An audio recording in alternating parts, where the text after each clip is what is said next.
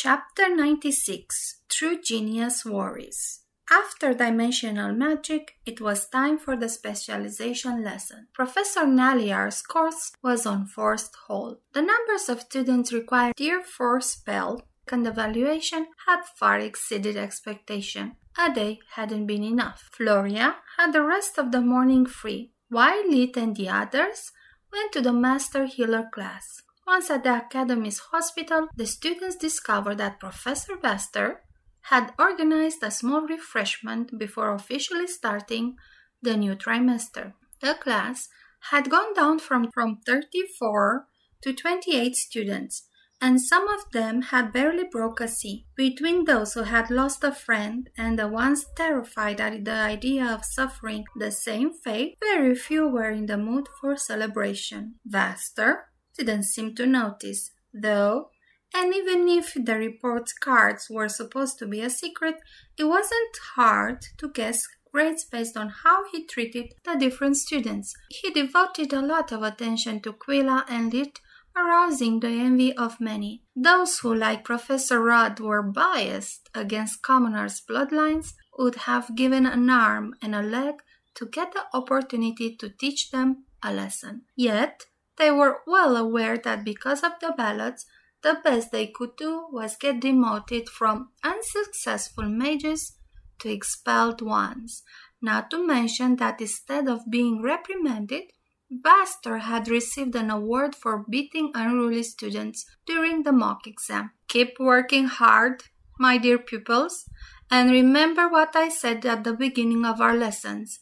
After the second trimester, the class will be halved. We will be lucky if 20 of you manage to actually graduate as healers. From how he was looking at the anger students, he had got a taste for it. During the lessons, Lith group had finally the opportunity to take the lead in delicate procedures like regrowing lost limbs and organs.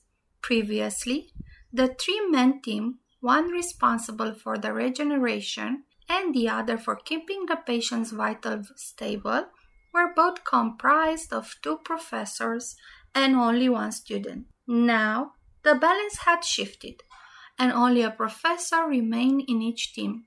When Quylla and Lith weren't in charge of one of the teams, Professor Vastor would always put them as second in command, ready to take over the procedure in case anything went wrong. It took Lith a few patients to understand all the quirks and risk of generating a lost limb. The tier 4 spell couldn't be handled by just mindlessly pumping mana or Everyone could have done it, even without a specialization. The whole process revolved around a delicate balance between the two groups of healers, with the patients as their fulcrum. The mage leading the regeneration had to keep the spell active, while giving the patient's body time to rejuvenate. With two short intervals between mana pulses, most of their effectiveness would be lost, making the procedure longer and more difficult. Also, it would put a great stress on the patient's body with the risk that the new limb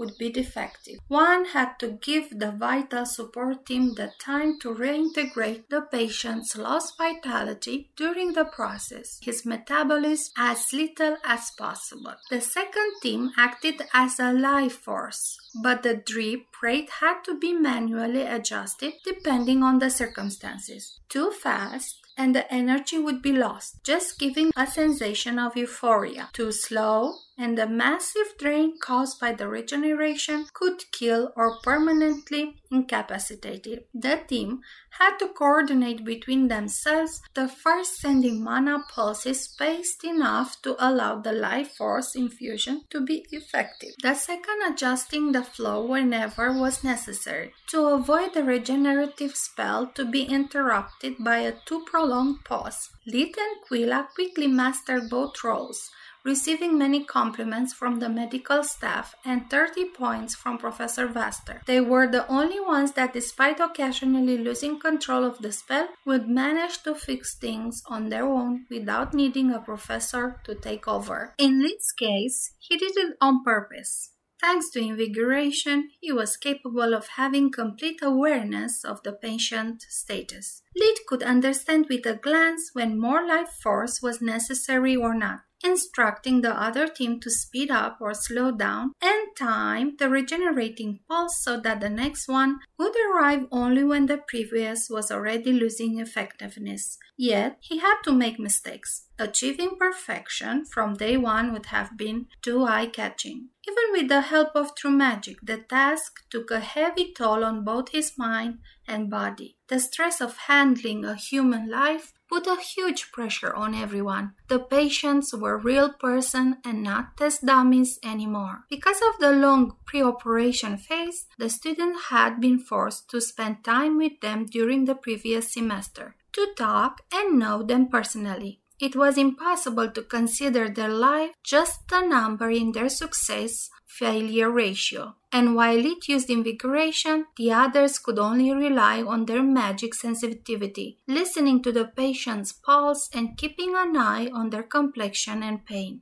It was something incredibly hard. Lith had no idea how others could manage to do it. The scariest thing was that despite all that, Quylla was just a few steps behind him. Even if stuck with fake magic, she was able to absorb like a sponge all the notions and suggestions Professor Vastor gave them, managing to get in tune with every patient. Lith would have never been capable of doing that, at least not that fast. He learned by experience, little by little with every procedure, using invigoration as a guiding hand whenever he had a doubt. The more time they spent together, the more aware he was that it was only a matter of time before she revealed herself to be a genius. Her mana core was already on par with Lith's. I can only pat myself in the back for taking care of her for all this time. If necessity ever arises,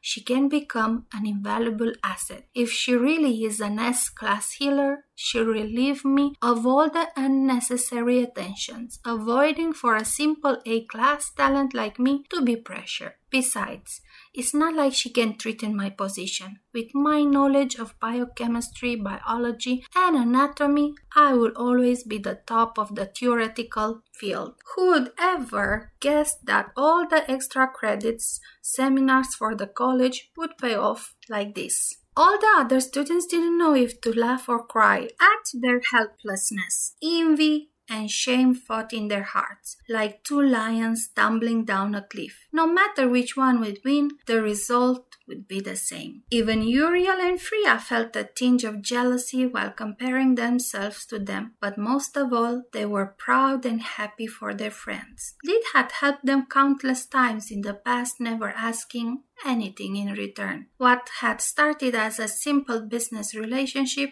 had evolved in honest friendship. As for Quylla, they could never resent her. At first, Yurial approached her just out of curiosity. He had considered her like a pet, someone talented that would be easy to manipulate due to her childish naivety and poor background. But Quylla's growth as a person and mage had stunned him, leading Yurial to shed his prejudice and accept her as a peer. Now, after three months together, he felt deeply ashamed of his initial attitude towards her and was trying to make amends. Friya, instead, liked to think of her as her little sister she had always wanted. Quylla was honest and had a big heart. Their friendship had developed naturally from their first meeting, both suffering from the constant harassing from the other students. Quylla's body had started to change due to the rapid growth induced by the tonic. Friya had helped her manage her first period, teaching her everything about what being a woman meant, becoming her confidant. When Friya had hit a wall during the healer specialization, Quylla had volunteered to help her. They started studying together, and whatever difficulty Friya encountered, Quylla had been always there for her. She had never talked about her private lessons to anyone, not even trying to impress Lith, from whom Friya knew she had a huge crush. Quylla's humble and gentle nature had moved her beyond what words could express. Friya had found in a stranger something that even her own family had always denied her. She was ready to do anything for her little adoptive sister. As for Quylla, she was thankful for 4 magic being so hard. Her work as a healer with the constant pressure of having another's human being in her hands was the only thing forcing her unruly heart to rest. When they had first met, Yurial was like a prince charming out of the fairy tales that she had read as a kid. He was noble, powerful, rich, handsome, smart, and gentle, almost too good to be true. Lith, on the other side, had been more like a demon lord, cold, scary, brush, talking to everyone like they were ants, glaring with soul chilling dead eyes. But after the two days, something had changed. She had noticed how indifferent Yurial actually was, sometimes even forgetting about her existence. Friya was the one actually caring for her, while it was complicated. When the first magic private lesson had started, he had lost most of his edge, becoming more supportive and helpful than Professor Trask himself. He was the only one now staring at her for the amount of food she gobbled every day. On the contrary, he would even encourage her to eat more and help her keep her diet balanced. Lith would always worry for her safety, encouraging her to pick up a ballot, even defending her when she still had to get her own. In the last months, whenever students tried to casually bump into her, Lith would switch places with Quylla, no matter how big the other guy was Lith would remain immovable like a mountain, while the other would fall on his ass, wincing in pain. After a month from their first meeting, when she had her first period, he had been the one noticing her distress, relieving the pain with one of his personal spells, and bringing her to Friya to give her some help. As a healer, he was bound to know everything about it too, yet he had the sensitivity to avoid embarrassing her, letting another woman help her face that awkward situation. It was after that moment that something inside Quylla had changed. Whenever she saw him, she would get butterflies in her stomach, her mouth would go dry. Each time they spoke, she needed sheer willpower to not speak fast or giggle at everything he said. Over time, he had become gentler and kinder, helping them whenever he could during the private lessons, answering all their questions and giving them pointers. She started to admire his cold attitude towards strangers, not giving a damn about what they thought or said, having eyes